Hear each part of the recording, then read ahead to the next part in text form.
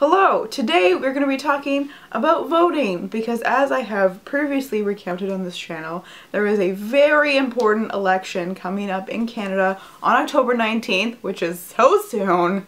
Every election is important. However, in Canada, for the past 10 years, we have had like a low-key Donald Trump dictating the country, and I would really like that to not be the situation anymore.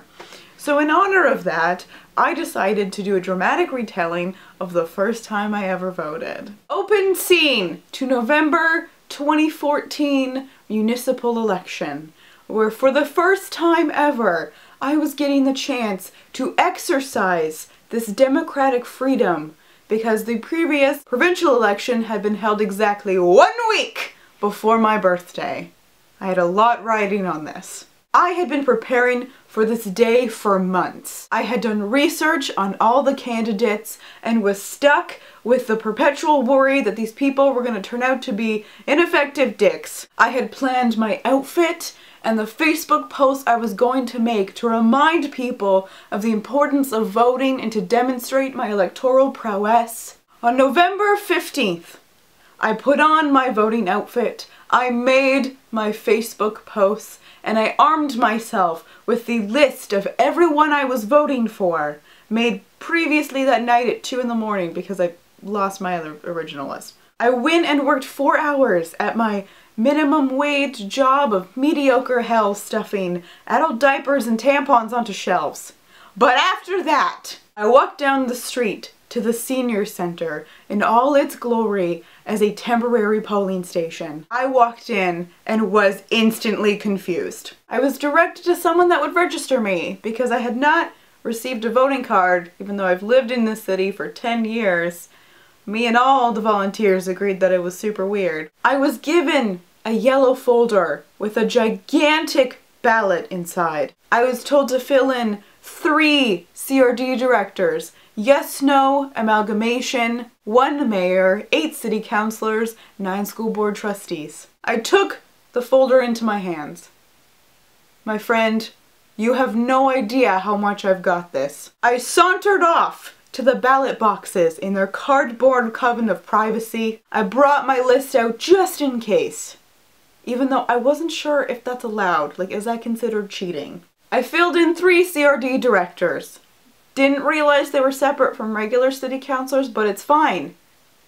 I still got this. I filled in the bubble with the perfectly tipped felt pen. This was like a Scantron for the best test I'd ever taken. Moved on to yes, no amalgamation. Easy. Flipped the ballot over. One mayor. Got this. I filled in my eight city councilors. Still got this. Then the nine school board trustees. Nailed it. I looked over my ballot, recounting, mostly just to bask in the glory of what I had done. I paused at the city councilor section. I had filled in nine names.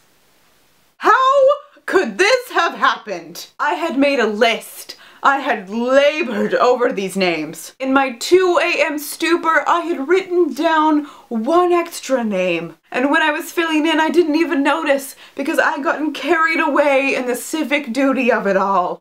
I had spoiled my ballot. I couldn't believe that I had done this.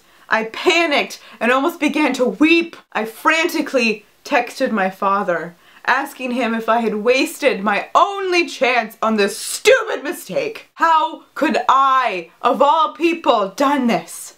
I had waited since I was 12 years old to vote, when I was still filled with idealism for the future. I had dedicated my life to the pursuit of political engagement, and now my vote wouldn't count. After a few minutes of holding back tears, I decided to suck it up. I went up to the guy who was accepting ballots, who was wearing a newsboys style hat and had a beard and had definitely voted NDP in the past. I handed it to him and said, I fucked it up. I filled in nine city councilors. He replied by asking, do you want to do it again? Yes! and I was directed to the woman with a sign in front of her that said spoiled ballots. I got a new ballot. A fresh ballot in my yellow folder. A second chance. I did it again! Perfectly! I handed it to him and said, I did it right this time. He replied by saying, there's no need to be frustrated. One in 20 people did it today. I didn't realize I looked that visibly upset. It's kind of embarrassing. He slid my ballot through the machine like a water slide in the democratic process. It beeped. Congratulations, he said, high-fiving me. Would you like a sticker? Yes. Yes, I would. So that was my very dramatic, slightly traumatic recounting of the first time I ever voted. Please share your own stories. Uh. And also vote! Ugh, when your face is more in point than every political party's platform. Strong brow leadership, am I right?